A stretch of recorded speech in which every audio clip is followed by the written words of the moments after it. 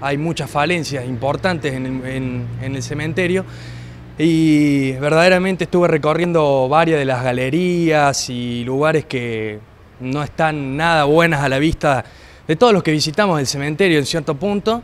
Este, y he pedido a través de una petición en change.org, este, un sitio mundial donde la gente realiza firmas justamente para, pedidos de, modificaciones o dependiendo de qué tipo de cosas. Y allí he puntualmente armado, digamos, este, un bosquejo de lo que me interesa con respecto al cementerio San José de Villanueva.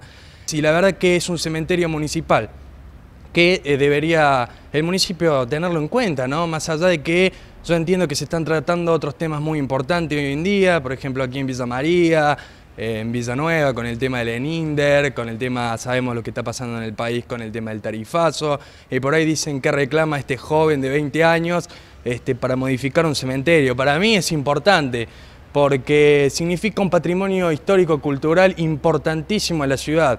espero pedirle al señor Intendente Natalio Graglia de la ciudad de Villanueva que pueda recibirme en su despacho para poder explicarle un poco mejor.